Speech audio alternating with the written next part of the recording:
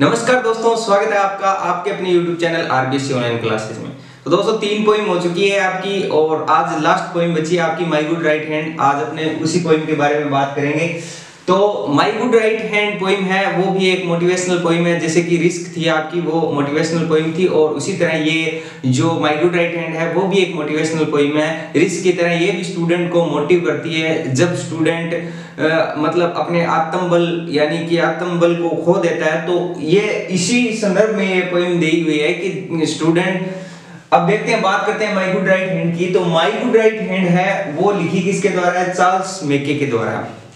तो Charles Mackay है, अपने सबसे पहले इस, जो चार्ल्स मेके है, इसका राइटर का नाम याद करते हैं, जैसे ये माई गुड राइट हैंड है तो एम वाई को ऐसे लिखेंगे अपने एम वाई और यहाँ पे मेके लिखेंगे एम ए सी के ए वाई यानी कि ये एम और वाई ये इससे याद रह जाएगा हमें चार्ल्स मेके तो बात हो गई चार्ल्स मेके की, और चार्ल्स मेके है, इन्होंने इनके एक बहुत ही प्रसिद्ध बुक है, जो जिससे ये ये देखिए extraordinary popular delusion and the madness of crowds ये इनकी एक प्रसिद्ध बुक है, जिनकी वजह से ये जाने जाते हैं चार्ल्स मेके और चार्ल्स मेके एक बहुत ही प्रसिद्ध गीतकार, कहानीकार और उपन्यासकार थे, जिन्होंने बहुत सारे गीत भी लिखे, कहानी भी लिखी और उपन्यास भी लिखे। तो बात करते हैं अपने माई गुड राइट हैंड के थीम की। तो जो माई गुड राइट हैंड है, वो एक मोटिवेशनल पोइम है और इसमें क्या है कि जो चार्ल्स मेके है, वो एक समय में बहुत ही धनवान व्यक्ति थे और फिर क्या होता है कि कुछ ऐसी परिस्थितियाँ आ जाती है कि उनके पास धन की कमी हो जाती है और बहुत ही गरीबी में पड़ जाते हैं। तो जैसे ही वो गरीबी में पड़ते हैं तो वो क्या करते हैं कि अपने दोस्तों से सहायता मांगते हैं और अपने दोस्तों से कुछ धन, पैसे की उम्मीद करते हैं कि अब मेरे दोस्त हैं, वो मुझे कुछ धन देंगे। लेकिन होता क्या है कि उसके दोस्त उन्हें कोई धन नहीं देते, बल्कि उन्हें कुछ काम करने के लिए कुछ ऐसी उन्हें सिर्फ़ सलाह देते हैं और धन धन वगैरह कुछ नहीं देते। तो फिर क्या है कि वो निराश हो जाते हैं। अचानक उसके उन, उनके दिमाग में ये आता है कि अभी भी दो व्यक्ति ऐसे हैं जो मेरी सहायता कर सकते हैं। यानी कि उनके दिमाग में ये आता है और फिर क्या है कि एक तो गॉड और एक उनका जो दाहिना हाथ यानी माई गुड राइट हैंड वो खुद के मनोबल पर आत्मविश्वास पर विश्वास करते हैं और फिर खुद के कड़ी मेहनत और हार्डवर्क से वो फिर से धनवान हो जाते हैं। जैसे ही वो वापस उनकी स्थिति अच्छी हो जाती है उन, उनके पास धन आ जाता है तो जो दोस्त उनकी मदद से कतराने लग गए थे तो वो वापस आ, आ जाते उनके पास। तब वो कहते हैं कि अपने दोस्तों पर, रिश्तेदारों पर विश्वास करने का मतलब है कि रेत से महल बनाना। जिस प्रकार अपने रेत से महल नहीं बना सकते, उसी प्रकार किसी भी दोस्त पर या रिश्तेदार पर विश्वास करना उचित नहीं है। तो फिर वो कहते हैं कि हमें सिर्फ़ एक तो गोड पर और एक अपने आत्म बल पर विश्वास करना चाहिए और हार्ड वर्क पे विश्वास करना चाहिए। ये इतनी सी पोइम थी, ये हमें क्या है, कोई वर्क करने के लिए अपने जैसे जब इंसान ऐसी परिस्थितियों से घिर जाता है कि उन्हें कोई सहायता नहीं करता, तब हमें मोटिव करती है कि हमें अपने हार्ड वर्क पर विश्वास करना चाहिए। देखिए, यहाँ पे लिखा है माई गुड राइट हैंड जैसे अपने कोई भी काम करते हैं, वो ज़्यादातर राइट हैंड से करते हैं और अपने, तब इन्होंने अपनी पोइम का नाम इस हिसाब से लिखा है कि माई गुड राइट हैंड तो अपने राइट हैंड से काम करते हैं और सारा काम इसी तरह हमें मोटिव करती है ये पोइम तो चलिए, ये तो दोस्तों थी माई गुड राइट हैंड की थीम अब बात करते हैं इनके एक्सप्लेनेशन की। तो ये लिखा है I fell into grief यानी कि जब कवि क्या कहता है कि मैं एक बार गरीबी में पड़ गया था ग्रीफ होता है गरीबी यानी कि वो कहता है कि I fell into grief मैं एक बार गरीबी में पड़ गया एंड बिगेन टू कंप्लेन और मैं शिकायतें करने लग गया। कंप्लेन का होता है शिकायत। शिकायत। I look for a friend मैंने अपने दोस्तों की तरफ़ देखा but I sought him vain but I sought him vain अब यहाँ पे सोट का अर्थ होता है टू फाइंड समथिंग यानी कि कुछ ढूंढना या तलाश करना। To find something in vain यानी कि मेरी तलाश थी, वो क्या थी? व्यर्थ थी। यानी कि पहली पैरे की अपने बात करते हैं, पहली लाइन की I fell into grief मैं एक बार गरीबी में पड़ गया एंड बिगेन टू कंप्लेन और मैं शिकायत करने लगा I look for a friend मैंने एक अपने दोस्तों की तरफ़ देखा but I sought in vain लेकिन मेरी जो तलाश थी, वो व्यर्थ थी। इन दोनों लाइनों का मतलब जब कभी गरीबी में पड़ जाता है तो वो अपने दोस्तों से सहायता माँगता है। वो ये सोचता है कि मेरे दोस्त है, वो मेरी मदद करेंगे। और फिर वो कहता है कि I look for a friend but I sought him vain लेकिन मेरी जो तलाश थी, जब मैंने दोस्तों की तरफ़ उम्मीद भरी नज़रों से देखा तो वो व्यर्थ थी। उन्होंने मेरी सहायता नहीं की। Companion companion Versailles and acquaintance work companion होते हैं मित्रगण। जो अपने दोस्त होते हैं, वो मित्रगण।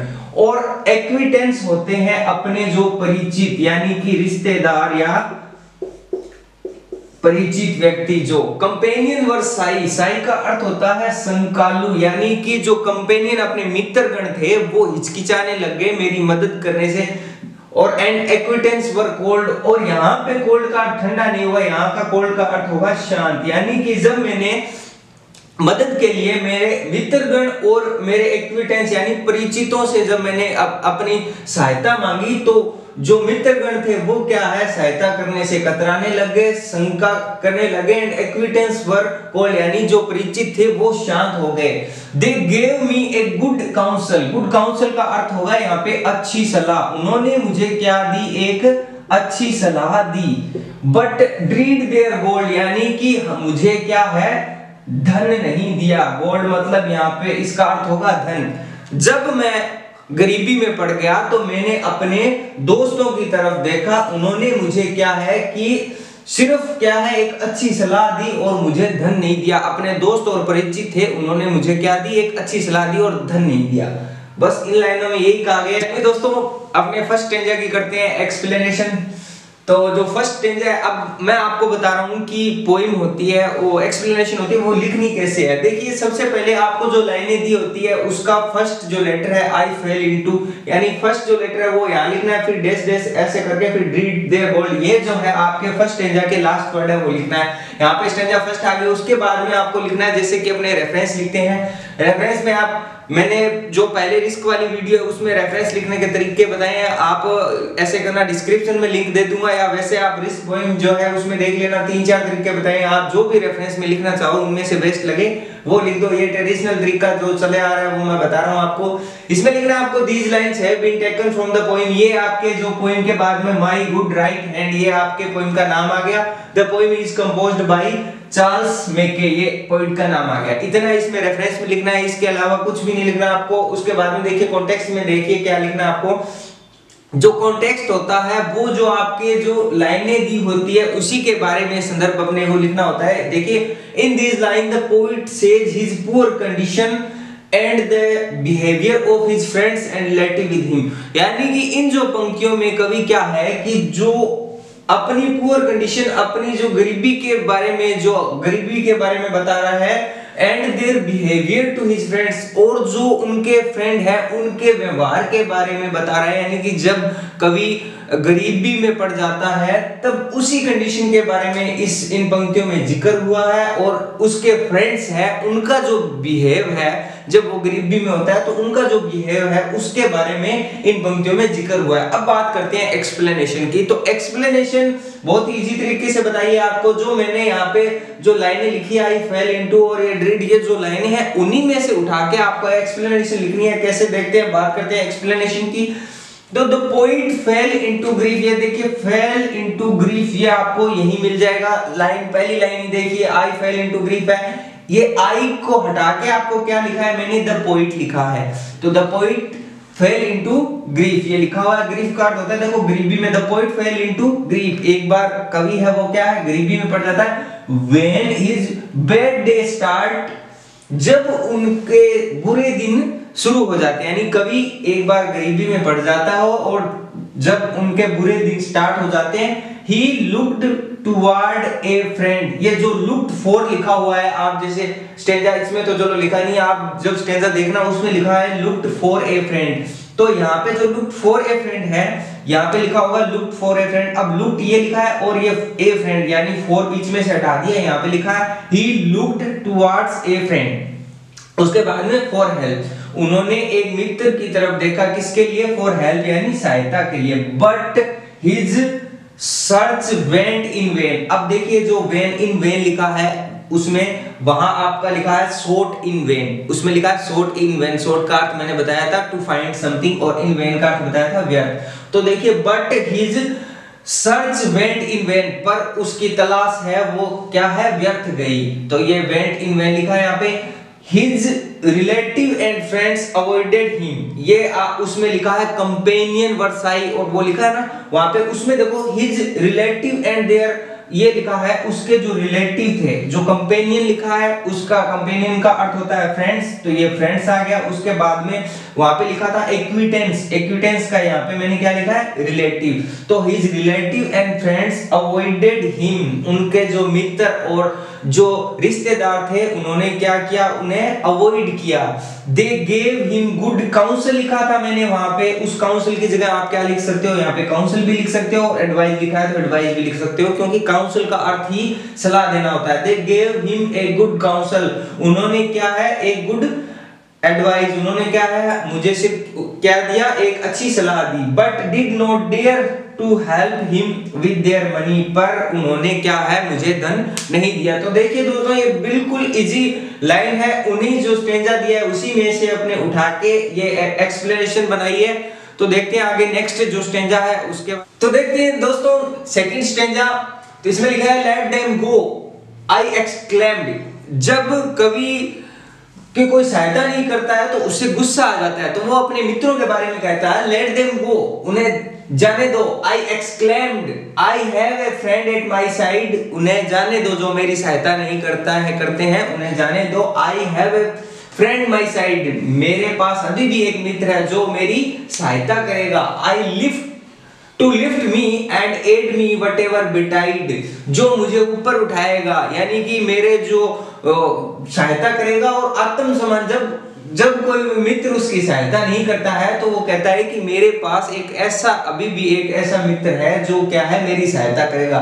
To trust to the world is to build on the sand यानी कि ये कहता है कि मित्रों पर, अपने परिचितों पर विश्वास करने का मतलब है बिल्ड ऑन द सेंड यानी कि रेत से महल बनाना। यानी उन पर विश्वास करने का मतलब है कि रेत से महल बनाना। I will trust but in heaven and my good right hand यानी यहाँ पे जो हेवन लिखा है, इसका अर्थ स्वर्ग नहीं होगा, इसका अर्थ होगा गॉड मैं सिर्फ़ इस पे विश्वास कर सकता हूँ, एक तो गॉड पे और दूसरा यहाँ पे जो माई गुड राइट हैंड है, इसका अर्थ होगा मेरे खुद के हार्ड वर्क पे या मेरे खुद के आत्म बल पे। तो चलिए दोस्तों, इसके कॉन्टेक्स्ट के बारे में बात करते हैं। कॉन्टेक्स्ट में लिखा the poet had to face bad days जब जो कवि है, वो बुरे दिनों का सामना कर रहा होता है। None of his friend and relative gave him any help उनका कोई भी दोस्त और उसके जो परिचित है, उन्हें क्या है? कोई भी सहायता नहीं करते अब बात करते हैं एक्सप्लेनेशन की। तो जैसे अपने पहले फ़र्स्ट एक्सप्लेनेशन की थी, उसी तरह अपने ये एक्सप्लेनेशन बहुत ही इजी तरीके से किया। इन्हीं जो वर्ड जो है, उनमें से उठा के अपने इस एक्सप्लेनेशन को बनाया। देखिए क्या लिखा है कि द पोइट सेज दैट कवि कहता है कि if none of his friends come to his help अगर उसका कोई भी दोस्त सहायता के लिए नहीं आता है लेट देम गो ये देखिए, यहाँ पे लिखा है ना लेट देम गो ये सेम टू सेम वैसा ही लिखा है। कुछ एक वर्ड आपको इधर उधर करने हैं कि लेट देम गो अवे उन्हें जाने दो। अगर मेरी सहायता के लिए कोई नहीं आता है तो उन्हें जाने दो। ही डजेंट नीड देम मुझे उसकी कोई भी आवश्यकता नहीं है। ही हैज़ ए फ्रेंड उसके पास अभी भी क्या है? एक मित्र है। टू हेल्पिंग हिम सहायता करने के लिए. It is useless in trusting the selfish people of the world यानी कि जो सेल्फिश व्यक्ति है, जो मित्र है, उन पे विश्वास करना यूजलेस है. यानी कि व्यर्थ है. जो इन वेन लिखा था ना, वो useless it is just to build a castle on sand ये देखिए यहाँ पे लिखा हुआ है ना, जो build on a sand, on the sand, ये सेम टू सेम यहाँ पे लिखा हुआ है it is just to build a castle on the sand यानी कि इसका मतलब अपने जो दोस्तों और परिचितों पर विश्वास करने का मतलब है कि रेत से महल बनाना, जिस प्रकार अपने रेत से महल नहीं बना सकते, उसी प्रकार अपने दोस्तों पर विश्वास नहीं कर सकते। The poet trust in God and depend on his good right hand यानी कि जो कवि है, वो क्या कहता है कि मुझे किस पे? गोड पे और अपने गुड राइट हैंड पे। विश्वास है यानी कि अपने आत्म बल, अपनी कड़ी मेहनत और एक क्या है? गॉड पे उन्हें विश्वास है। देखिए, यहाँ पे लिखा है ना but in heaven and my good right hand उसी का हेवन का अर्थ होता है गॉड और यहाँ पे लिखा ट्रस्ट इन गोड और माय गुड राइट हैंड तो दोस्तों, देखते हैं नेक्स्ट स्टेंजा। आपका जो थर्ड स्टेंजा है, ये है कि my courage revived in my fortune despite यानी कि जो मेरा साहस है करज होता है साहस रिवाइव यानी कि वापस आ गया इन माई फॉर्चून डिस्पाइट यानी कि मेरे जो दुर्भाग्य है, उसके बावजूद मेरा जो कर्ज है, यानी कि जो साहस है, वो वापस आ गया। देखिए दोस्तों, ऐसे होता है कि जब कवि है वो दुविधा में पड़ जाता है तो वो ये कहता है कि मेरे पास अभी भी एक ऐसा मित्र है जो मेरी सहायता करेगा, यानी कि वो खुद के आत्म बल और हार्ड वर्क के बारे में बात कर रहा होता है। फिर वो कहता है कि मेरा जो कर्ज है, मेरा साहस है, वो मेरे हार्ड वर्क की वजह से वो क्या है, वापस आ जाता है। अब देखो and my hand was is strong is my spirit was light यानी कि जो मेरा हाथ है, यानी कि मेरा जो मनोबल है, वो स्ट्रोंग होता है as my spirit was light जैसे इट रेज्ड अब देखिए it raised me from sorrow उसने क्या किया? मुझे दुख से बाहर निकाला. It saved me from pain यानी कि उसने मुझे दुख और दर्द से क्या है बचाया और बाहर निकाला। It fed me and clad me again and again उसने मुझे वस्त्र पहनाए एंड फेड मी यानी कि मुझे भोजन दिया अगेन एंड अगेन यानी कि वो कहता है कि जब मैंने हार्डवर्क किया तो मुझे उससे क्या है कि भोजन मिला और अच्छे वस्त्र मिले अगेन एंड अगेन यानी कि बार बार तो देखिए दोस्तों, ये अपने थर्ड स्टेंजा है, ये आपकी जो लाइनें दी है, उसी से अपने एक्सप्लेनेशन बनाइए। पहले इसका कॉन्टेक्स्ट देख लेते हैं कॉन्टेक्स्ट में क्या कहता है कि the poet stopped the poet stopped believing in false friend जो कवि है, वो अपने मित्रों पर विश्वास करना बंद कर देता है। यानी स्टॉपेड यानी कि बंद कर देता है। He believed only in God and his good right hand वो उसे किस पर विश्वास होता है? सिर्फ़ गोड पर और अपने गुड राइट हैंड, यानी कि अपने दाहिने हाथ पर और अपने उस गोड पर विश्वास होता है। अब देखिए एक्सप्लेनेशन देखते हैं। जैसे अपने पहले की इन्हीं लाइनों में से अपने उठा के एक्सप्लेनेशन बनाइए। देखिए कैसे द पोइट्स कर्ज अब देखिए लिखा है माई करज रिवाइव्ड यानी कि इस लाइनों में लिखा हुआ है माई करज रिवाइव्ड अपने क्या करना है माई करज की जगह लिखना है द पोइट करज कम बैक रिवाइव की जगह आपने क्या लिखा है the poet's courage come back again to him जो कवि है, उसका साहस है, वो वापस आ जाता है। ये लिखा है the poet's courage come back again to him उसके बाद में देखिए क्या लिखा है। His good right hand provided strength to him उसका जो दाहिना हाथ, यानी उसका जो हार्ड वर्क यानी उसके मनोबल से क्या है प्रोवाइडेड स्ट्रेंथ टू हिम उसे क्या है? स्ट्रेंथ मिलती है। His courage helped him to rise above his sorrow. उसके जो साहस है वो उसे सहायता करता है किसके लिए अबोव हिज सोरो अपने दुख से बाहर निकालने के लिए उसका करज है वो सहायता करता है देखिए यहाँ पे लिखा है इट रेज्ड ये अपने इट रेज्ड वाला यहाँ पे लिखा है His courage helped him to rise above the sorrow ये लिखा है from sorrow यानी कि above the sorrow अब देखिए जो लाइन लिखी है it saved me from pain it fed me and clad me इसको अपने उठा के क्या किया है? देखिए यहाँ लिखा it help him to get to food and cloth again and again उसने क्या किया? इट हेल्प हिम उसकी सहायता की गेट टू फ़ूड भोजन प्राप्त करने में एंड क्लॉथ यानी वस्त्र प्राप्त करने में अगेन एंड अगेन यानी कि बार बार यानी जब भी उसे ज़रूरत पड़ी, उसकी कठिन परिश्रम से उसे बार बार क्या मिला? भोजन और वस्त्र मिले। देखिए दोस्तों, आराम से जो लाइनें दी हुई है, उसी को अपने, उसमें से कुछ चेंज करके आप आराम से इस एक्सप्लेनेशन को कर सकते हैं। तो चलिए दोस्तों, अब देखते हैं लास्ट स्टेंजा जो चौथा आपका लास्ट स्टेंजा है वो, इसमें दिया है कि the friends who had left me come back everyone यानी कि जब जो कवि है, वो वापस उसकी स्थिति अच्छी हो जाती है, यानी कि वो वापस रिच हो जाता है तो उसके जो फ्रेंड्स है, वो वापस आ जाते हैं। तो लिखा the friends who had left जो मित्र उसे छोड़ के गए थे केम बेक एवरीवन एक एक करके वो क्या है, वापस आ जाते हैं। एंड डार्केस्ट एडवाइजर और जो डार्केस्ट एडवाइजर थे looked bright is the sun. वो क्या है कि अब सूर्य की तरह चमकने लगे, यानी कि जो उनके जो मित्र थे, जो डार्केस्ट एडवाइजर थे, वो अब खुश है और सूर्य की तरह चमकने लगे हैं। I need them no more अब मुझे उसकी कोई सहायता की ज़रूरत नहीं है एज दे आर अंडरस्टैंड और वो खुद भी ये बात जानते हैं। आई थिंक दी ये टी एच डबल ई है ये, जो ट्रेडिशनल इंग्लिश है, उसमें इसका अर्थ होता है, ये यू होता है। वैसे तो ये ट्रेडिशनल इंग्लिश में यू को टी एस डबल ई लिखा जाता है। I thank thee I trust thee my good right hand मैंने धन्यवाद दिया मुझे। मैंने, यानी कि जो अपने गुड राइट हैंड है, जो अपना आत्मविश्वास है, अपनी जो हार्ड वर्क है उसका, उसके बारे में वो कह रहा है कि मैंने अंत में उसे धन्यवाद दिया, यानी, और उसे उसके बाद में देखते हैं context the poet here thanks God and his own hand यानी कि जो कवि है, वो धन्यवाद देता है गॉड का और अपने खुद खुद के राइट हैंड यानी अपने खुद के हार्ड वर्क पर. That change his life and way of living जो उसने क्या है उसकी लाइफ है, उसको चेंज कर दिया और उसके जो वे ऑफ़ लिविंग यानी उसके रहने का जो स्टाइल है, वो किसकी वजह से चेंज हुआ? एक तो उसकी खुद की मेहनत की वजह से, एक जो उसने गॉड पे विश्वास किया था, उनकी वजह से। अब देखते हैं एक्सप्लेनेशन जो जैसे अपने इन्हीं लाइनों में से निकाल के एक्सप्लेनेशन ये भी उसी तरह इजी वे में करेंगे अपने। देखिए, इसमें लिखा है all those selfish friends who had left the poet have come back यानी कि जो उसके सेल्फिश मित्र थे, जो उसे छोड़ के चले गए थे, उनकी सहायता नहीं की थी, जब वो वापस धनवान हो गए तो वो वापस आ गए। यहाँ लिखा है कि हु हैड लेफ़्ट हिम जो उन्हें छोड़ के गए थे the point have come back वो क्या है? वापस आ गए हैं।